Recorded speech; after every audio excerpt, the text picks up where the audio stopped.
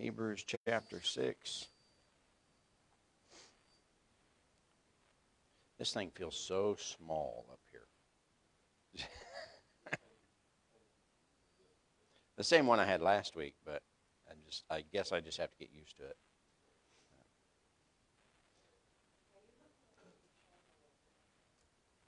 I look like I've shrunk. I need to shrink. That's a good thing. All right, Hebrews chapter 6.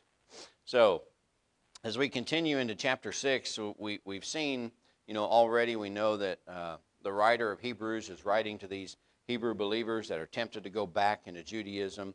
And, and, and so uh, we see as we go into chapter 6 that verse 1, as we've said, is the theme for the book of Hebrews. And so as we get into this, and we see uh, he tells these Hebrew believers, go on unto perfection. This has been the whole idea that he's been trying to get them to understand. He's wanting them to realize, as I said, what they have in Christ. And how that if they go back to Judaism, look at what you're going to miss. Look at, I mean, just the amazingness of Christ. We went through several lessons on, on how Christ was greater than the angels and Christ was uh, greater than, than the, the earthly priests that they had, and just so many different lessons that he's been teaching them, and trying to get them to understand that going back, you're losing. You know, go forward, move forward. It's time to grow. And again, the writer here is, is reminding them of the fact that, that Christ is greater than anything that they had or ever could have uh, in, in Judaism, and he's telling them to draw closer to Christ. And uh, because of that, you know, that, that again is our theme, going on into perfection. But in, in this chapter, he just takes some time to kind of stop and remind them of a few things that maybe they've lost sight of. And as I was studying for this, I realized that, you know, sometimes we look at the Bible and we look at a book like Hebrews, and it's it's easy to say, well, that's written to Hebrew believers who are tempted to go back to Judaism. That's not for me. You know, I, there's nothing in there for me. But there's a lot in there for us. And, and that's why it's in the Bible, because God knows that there are lessons here that you and I need. And just like these Hebrew believers, a lot of these lessons that the writer's teaching them are things that we need to be reminded of as well. And so as we look at this today, just kind of open your heart and open your mind to the, the truth of God's Word and, and maybe be reminded of some truths that we've let slip. All right? So, first of all, we see that he reminds them here of, of an earnest teacher. Uh, beginning in verse 1, he says, Therefore, leaving the principles of the doctrine of Christ, let us go on unto perfection, not laying again the foundation of repentance from dead works and faith toward God. Now, stop there for just a minute. As I was, as I was studying this, you know, that, that first phrase there really catches your attention. He says, leaving the principles of the doctrine of Christ. So, what's he telling them?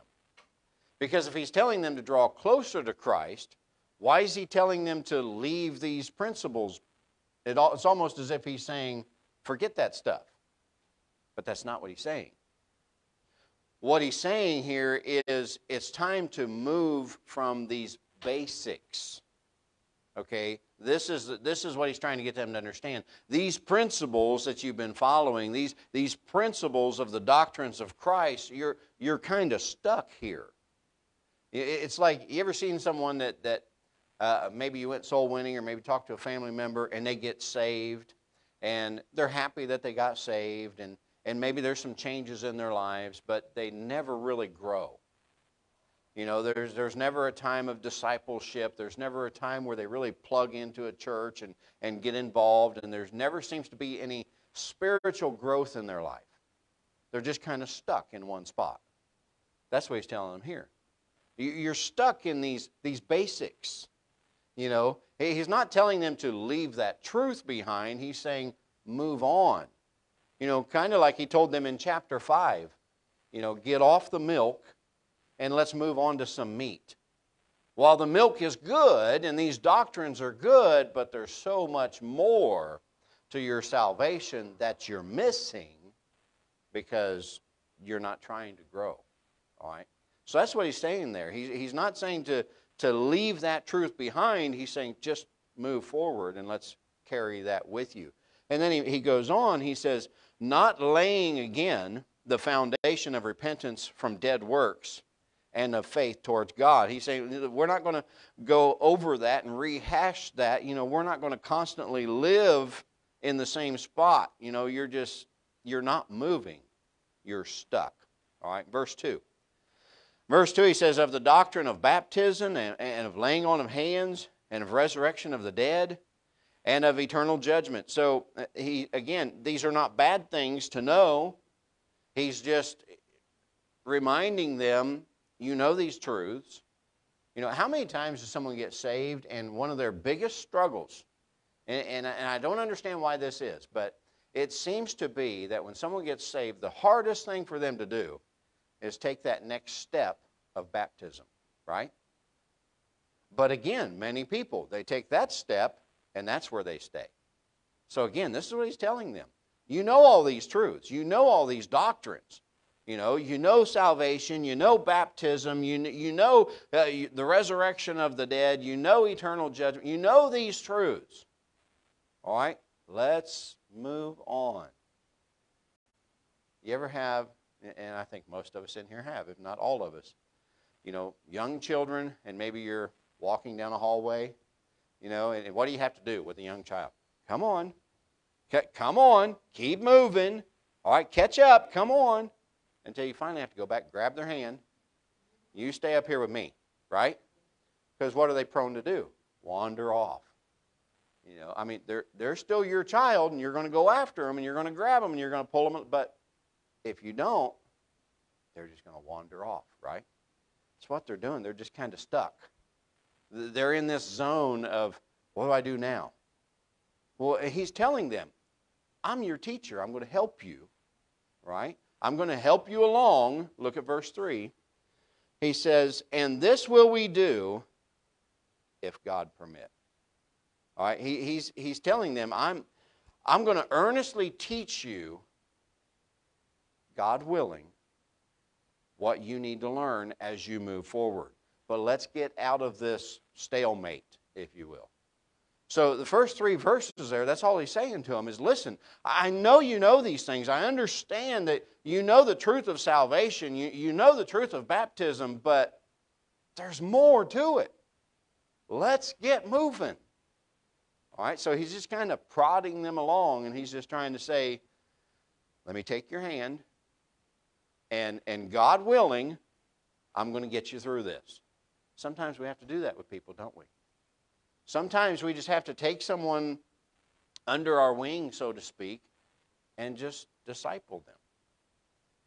My wife and I were fortunate to be uh, part of the discipleship program in our church in Florida. And, and I can remember when the pastor came and asked us, you know, we, sure, we'd love to do that. And it just, it amazed me because God put this all together. There's only, there's no other way it happened like this. So he asked us to be disciples and, or disciplers, if you will. And uh, so we start this program, and the first night he says, I'm going to send you this couple. They've really been struggling, and, and I think you guys are a perfect fit for them. Well, they come into the class, and we start talking to them, and, and, and you could just see his countenance. He was just not happy. He did not want to be there. He didn't want anything to do with this. It's almost like he was there just because she made him come. You know, and that was the impression that you got. So we got to talking to him, and I got talking to him, and I said, Well, now, where are you from originally? Because nobody's really from Florida, right? Kind of like Tennessee. And uh, he said, Well, I'm from a place you probably never heard of. I'm from Richmond, Indiana. I said, Really? My mom grew up there. I'm from Union City, just a few miles. He's, and his whole countenance changed. And, and it was just like, wow, you know the, and, and we started talking about different places in Richmond and started talking about the area, and it just opened him up. And his entire world changed. His mindset changed, his countenance changed, and we were able to disciple them, and they became faithful members of the church. And I mean, he was cooking dinners for the men's meals, and I'm just jumped in and got involved. And I'm not saying that we did that, but sometimes, as a child of God, when we see someone that needs help, we need to jump in and help. And God will put someone in your path that is perfect for you because of your past, and you're going to be able to help them. And that's what the writer of Hebrews is saying here. He's saying, I'm going to help you through this, I'm going to guide you along. But, you know, God willing, we can do this because it's going to be a battle. Because they're just so stuck in their old ways that, man, they, they want Judaism for some reason. And he's just reminding them listen, what you have in Christ is so much greater. Let me help you see that. So he's saying there, I'm going to be an earnest teacher. And then next we see an exceptional truth. Now, now this is amazing to me because I sometimes have to be reminded of this. And I think all of us sometimes need to be reminded of this. So he begins in the next few verses to remind them of this exceptional truth of what they have. And, and I just, I just want you to see this. Look at verse 4. For it is, what's that next word? Impossible for those who were once enlightened to have tasted of the heavenly and have tasted of the heavenly gift and were made partakers of the Holy Ghost and have tasted the good word of God and the powers of the world to come. Now, now, hold on, let's just stop there for just a second. I want to break this down before we get on to what he's teaching them. I want you to see the truths that he's laying out here. So he's saying it's impossible for those who have been enlightened. Okay, so who's the light of the world? Jesus Christ. So it's impossible for those that have experienced his light You've come to the light of Christ, okay? He's saying it's impossible for those that have been enlightened. It's impossible for those who have tasted the heavenly gift. Or, in other words, that gift of eternal life. So, we know we're saved. We know we have eternal life. We, we, we know it's settled in heaven. It's impossible to have been partakers of the Holy Spirit. So, when we get saved, the Holy Spirit comes to live inside us. You see, he's laying out these truths, okay? It's impossible, he says, for those that have tasted or experienced the Word of God and the power of the world to come. So, you've experienced the Word of God, you've, you've enabled the Word of God to change your life. Have you ever been reading the Scripture and go, man, that's exactly what I need for today? That's what he's talking about. You've experienced that and the power of the world to come. So you understand heaven and you understand the hope of heaven. So, so these truths that he's reminding them of, he goes back, he says, It's impossible in verse 6 if they shall fall away to renew them again unto repentance, seeing they crucify to themselves the Son of God afresh and put him to an open shame. All right. Now, this sounds like he's talking about someone losing their salvation. But it, this term, fall away, it's not saying that they're losing their salvation. They're falling away from these truths. And he's saying it's impossible for someone that has experienced all of these things to have to get saved again. You can't crucify Christ all over again. That's what he's telling them here. You can't crucify Christ anew because he's already been crucified. So it's not as if you can lose your salvation and have to get saved again. What he's saying is if you can fall away from this truth, listen, it's impossible for you to have to get saved again because the truth of the matter is it's impossible for you to fall away from this truth. That's what he's trying to get them to understand. If you have truly experienced these truths that he's just laid out, it's impossible for you to get away from them because they have a hold of you. Now, let me just kind of explain this a little better. When you get saved, the Holy Spirit of God comes to live inside you, right? We all understand that. You cannot escape the Holy Spirit of God, period. And I can testify to that in my own life. There was a time uh, shortly after I got saved that I, I ran from the call to preach, and I said, I, I, I don't want that in my life. That, that scared me to death, and, and I was what we call backslidden for quite a bit of time. I mean, a long time I was backslidden. But every time I tried to go back to that old lifestyle, every time I went to my old friends and tried to do the things we used to do, every single time, without fail, the Holy Spirit beat me up. And I knew I couldn't be there. I knew I couldn't do that. I knew I could not do these things that I used to do. The Holy Spirit wouldn't allow me to do it. I have personally experienced that. And that's what the writer is saying. It's impossible. You don't understand what you have.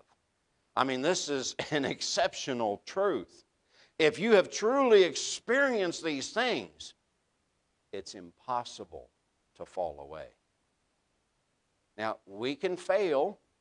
We can, we can even quit on God, but the Holy Spirit's going to just eat us alive until we come back or our hearts get hardened. Because the truth of the matter is, once you belong to God, you belong to God. You know, God is not what we used to call as children an Indian giver. Not to offend anybody, but He's not. He doesn't change His mind. In fact, in my backslidden state, it was Romans 11:29 that brought me back to God. Because as I was, you know, let me just say this. One of the dumbest things for a backslidden Christian to do is read their Bible. Because I couldn't get away from it. I had created such a habit of reading my Bible that even in a backslidden state, I would read my Bible, if that makes any sense. And I came across Romans 11 29, where it says, For the gifts and calling of God are without repentance. So God never changes his mind. And God still loved me, and God still cared about me, and God still had a plan for my life. And guess what? I had to get back to God. And it was that verse that changed my thinking and realized, man, I can't get away from him. And that's what the writer's saying here. Uh, uh Christ was crucified once for your sin. You're not going to crucify him again. You're not going to get resaved. You know, if you've really experienced these truths, then you can't get away from it. Your life has changed. Everything about you has changed. And once you experience that truth, it's amazing how much it changes everything else. Have you ever noticed that? I mean, when you experience these truths of God and you experience this, this relationship with Christ, it changes the way you look at everything. It changes the way you look at media. It changes the way you look at entertainment. It changes the way you look at individuals. It changes the way you look at life, period. And what he's saying is this, this truth is so good and it is so real that once you've tasted it, you can't stop. What an amazing truth. And, and, and, as I read that, I just thought, man, that, that's it. That, I mean, that's, that's the Christian life. Once you experience this difference in what it's like to live for Christ, there is no other life. Have you ever looked at someone that's living without Christ and thought, how do they not see what they're doing is, is wicked and wrong? How, are, how can they live like that? They've never experienced the truth. They don't know the difference. They don't want to sometimes. And once you experience it, man, it is life changing. So he, he's reminding these Hebrew believers you, you have this exceptional truth. That, that God loves you and God wants to guide you and God wants to protect you and God is going to give you these blessings. And, and I'm going to be your teacher. I'm going, I'm going to be I'm going to be there the whole time and, and I'm going to I'm going to do everything that I can to teach you these truths. And I want you to understand how much you have in Christ. All right? So moving on in verse 7, moving on in verse 7, he says, With this, He's reminding them that there comes an evident toil. I know some big words, okay? Now, verse 7, he says, For the earth which drinketh in the rain that cometh oft upon it, and bringeth forth herbs meet for them by whom it is dressed, receiveth blessing from God. So, right there in verse 7, he says, Now, when the earth receives the rain, all right, so God sends the rain upon the earth, all the earth, and when the earth drinks in that rain, what does it do? It produces fruit, or it gives off a product of some type that can be used or can be a benefit for, the, for those that are caring for it. So if you're a farmer, or if you have a garden in your backyard and you know the, the, the, earth takes in that rain and it produces something for you because you have taken care of it. This is the picture that he's giving them here. All right so so this evident toil so that the earth is obviously working because of the blessing that it has received from god. You see the picture he's giving them? All right in verse 8 in verse 8 he says but that which beareth thorns and briers is rejected and is nigh unto cursing, whose end is to be burned. He says, But if what the earth produces is not useful, it's burned up as waste. All right, so he's saying, you know, we can work all day long and produce nothing, just wasted time. Or we can work and we can produce things that are beneficial to the service of God. So this is a picture that he's trying to get them. That you know, there's there's an evidence of who you're working for when you're working. You know, all of us should be working for Christ. If you're a child of God, everything that you do should be for the benefit of the cause of Christ. And I realize that, you know, as he's using this example, they might be scratching their heads like we scratch our heads and go, What? The earth, the rain? Huh? what it's saying here is you get out what you put in. If blessing's coming in, then blessing needs to go out. So God's blessing the earth with the rain, and so the earth is blessing those that care for it with a product that they can use. You getting the picture here? I hope it's making sense. All right, so verse 9. Verse 9, he says, But, beloved, we are persuaded better things of you and things that accompany salvation, though we thus speak. For God is not unrighteous to forget your work and labor of love, which ye have showed toward his name, and that ye have ministered to the saints and do minister. And we desire that every one of you do show the same diligence to the full assurance of hope unto the end. So he's saying here when, when we receive salvation, our lives should then produce fruit that is beneficial for the kingdom of God. So he's saying you need to continue to serve him. You need to continue to do everything that you can to bring glory and honor to God who saved you because he's worthy. So he's the one that's blessing you. He's the one that's taking care of you. He's the one that is guiding you. And so your life and your labor should reflect that. It's a simple truth that he's trying to get him here. There's an evident toil, there's evidence of who you belong to as you work. So he's saying here, this labor should continue for him until you see him. So don't stop working for Christ. Again, don't go back to Judaism. What you have in Christ is greater, so work for him, work towards him. Go on unto perfection because Christ is where that perfection is found. And so he's, he's encouraging them to, to do the work that they know they should be doing, work for Christ, and work for the blessings that God is going to give them. All right? Finally, he says there's also an enduring testimony. An enduring testimony. Beginning in verse 12, he says, that ye be not, not slothful, but followers of them who through faith and patience inherit the promises. For when God made promise to Abraham, because he could swear by no greater, he sware by himself. Notice here that, that we have the promise of God, And those promises tell us that God's going to take care of us, God's going to provide. You know, as we serve Him, as we work for Him, He's going to give us everything that we need. And He's saying that, that because God has no equal and God has no superior, then He can only swear this promise by His own name. And God is not going to shame His own name. So we can trust His promises. We can trust He's going to take care of us. We can trust His testimony. That's what He's saying here. Just like He promised Abraham. And Abraham received the blessing that God promised him. Look at verse 14. Verse 14 it says, saying, Surely blessing I will bless thee, and multiplying I will multiply thee.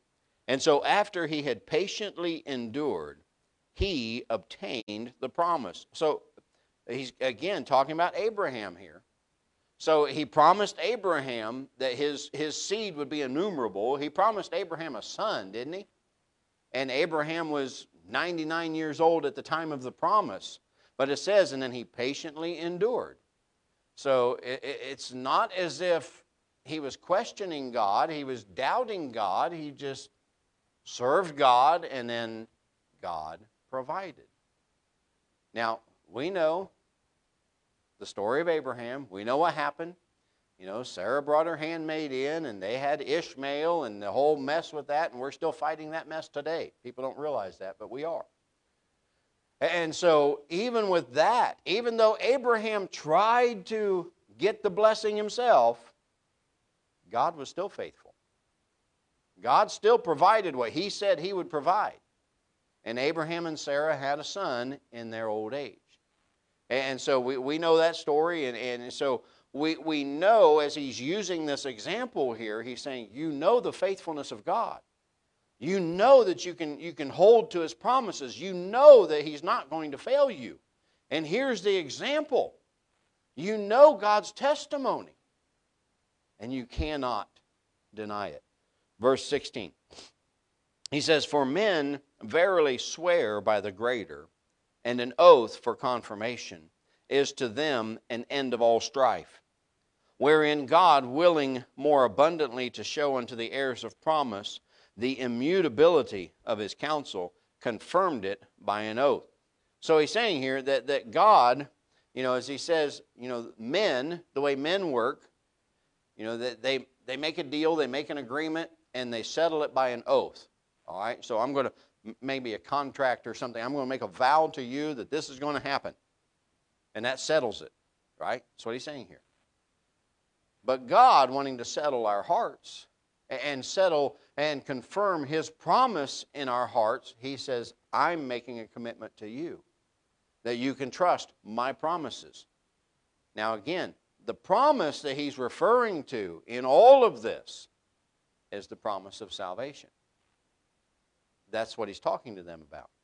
We can trust this promise. We can trust God's promise because Christ was proof of the oath. Look at verse 18.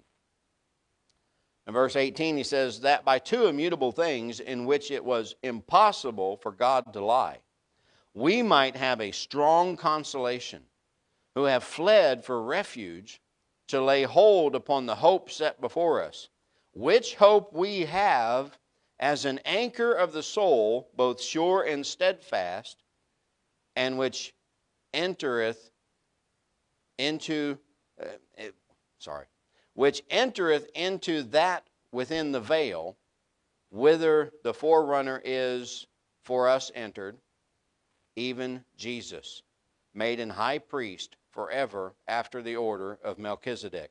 Now, even though I butchered those verses, what he's saying here is we can trust the promises of God because Christ was proof of that oath that God made to us.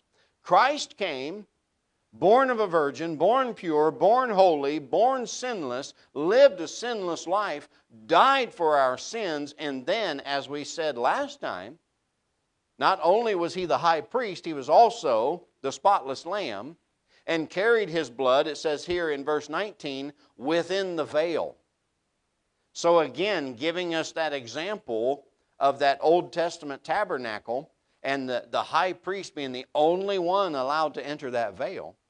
the only one allowed into the Holy of Holies, Christ entered in with his blood and he laid that blood on the mercy seat before God, which then enabled what? Us to go. He gave us the power to enter into the very presence of God.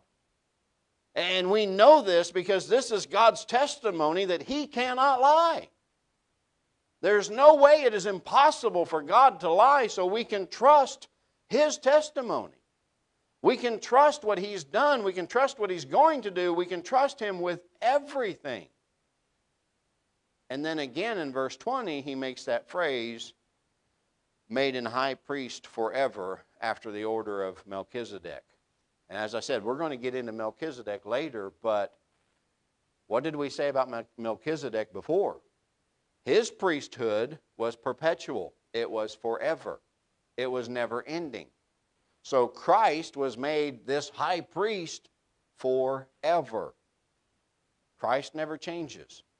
Christ will always be our high priest, which means Christ is always there in the presence of God, always there to intercede for us, always there to help provide anything that we need, and we have access to God through Christ.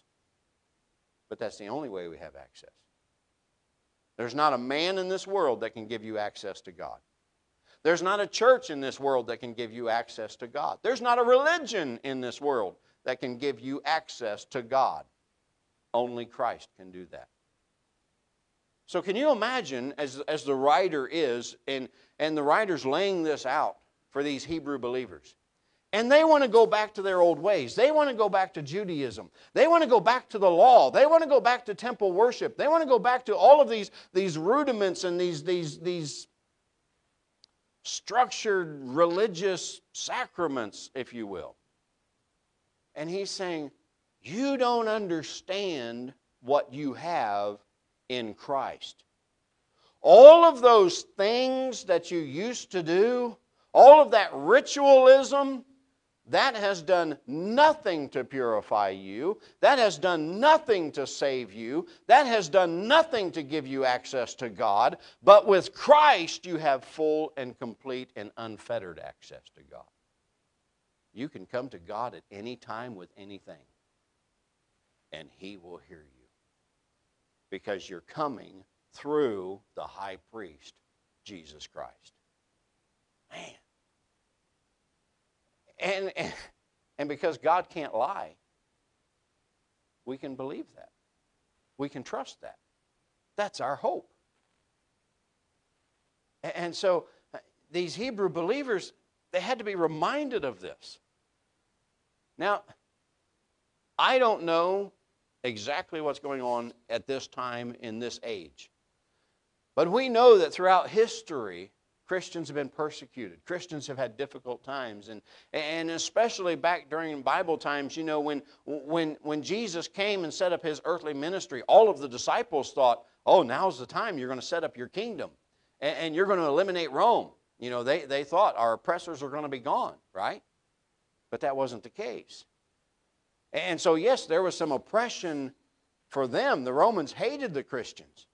In fact, Herod, one of their most, most wicked rulers, used to burn Christians to light his, his barbecues. I mean, they'd put them on stakes and they'd set them on fire and they would eat dinner while they were burning. I mean, it was just wicked, a terrible time to be a Christian. So, what's going on here with these Hebrew believers that, you know, maybe they're being persecuted, maybe they're going through hard times, maybe they're going through trials, and they're saying, man, I, I had it so much easier in Judaism. I had it so much easier in my old life. I didn't have people hating me. I didn't have people persecuting me. And, and sometimes we feel like that, don't we? You know, when, when, you, when you go to a restaurant and you eat dinner with your family in a restaurant and bow your head to pray, do you notice the looks? We were, we were in, a, in, a, in Gatlinburg in a Waffle House, or not a Waffle House, but pancake house. And we don't go to Waffle House. but, but we were sitting at a pancake house and, and, and we bowed our heads and we prayed. And, and a lady from another table walked over and she said, I just want to thank you for that. She said, That's something that's missing in our society to see families that pray together. And she was just, she was amazed. And you know, we, we have incidents like that, and we say, well, yeah, it's good to be a Christian, you know, but when the Snickers come and the finger pointing and, you know, the criticisms, it's not always easy to be a Christian, is it? And sometimes, you know, not all of us are blessed to work in ministry. Not all of us are blessed to work with Christians. You know, sometimes when you work in the world and, and you work a secular job and, and you're trying hard to be a Christian and nobody at work is. You know, I've been there. It's not fun, it's not easy. And you're trying to have a good testimony and they're making fun of you and they're criticizing you every single day. And man, it's just so much easier just to be like them. See, there's always a temptation. And maybe that's what these Hebrew believers were facing the same difficulties that you and I face every day. And the temptation to just give up and to quit and say, man, it's just easier if I'm not doing this Christian thing. No, let us go on unto perfection. Push through the trials, and endure the difficulties, and just trust Christ. And just say, what I have in Christ is greater than anything the world could offer me. How could I give that up? And just like I said when I was living in that backslidden state, every time I tried to do something that my old self would have done, the Holy Spirit said, No, you can't do that. And it was the hardest time in my life. And I'll say this, and I believe this wholeheartedly the most miserable people in this world are backslidden Christians.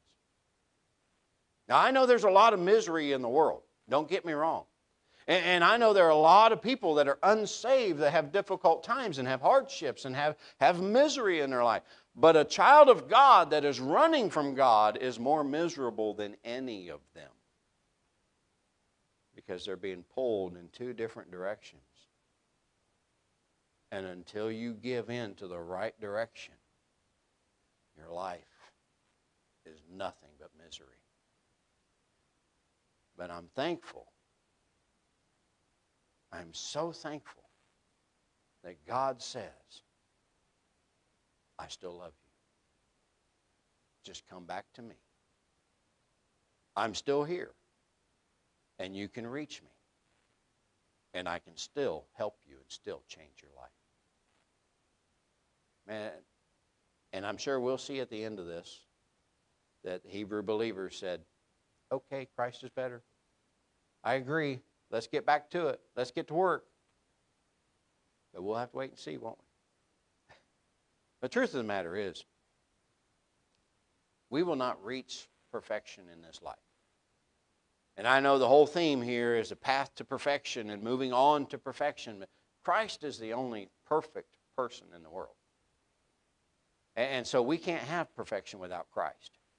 And we can't have perfection this side of heaven. It's not a license to sin, but we should be always striving to be more Christ like every day. And when we get to heaven and experience His true perfection, then we'll realize how far off the mark we were. Man. You know, I think, I think a lot of times we, we make the mistake of, and the Bible talks about this, comparing ourselves among ourselves. You know, oh, well, he's more spiritual, or oh, no, he's not as spiritual, and no, they do this, and they're terrible people. No. We all have our imperfections. But we all need to be drawing closer to Christ every day. And we all need to be seeking His will and His way in our lives daily. That's the only way that we can experience this true blessing that the Hebrew writer is trying to get these people to experience. So just trust Christ and understand that whatever He has for you is always better than anything that the world could ever offer. Amen. Father, we thank you for this time and thank you for these truths that have been laid out in your word and just pray that we can take these truths and apply them to our lives and help us, God, to learn every single day to draw closer to you and to be more Christ like in everything that we say, do, and think. Father, we love you. And pray that you be with the services to follow. Be with Pastor as he brings the message this morning. May it be exactly what we need for our lives. In Christ's name we pray. Amen.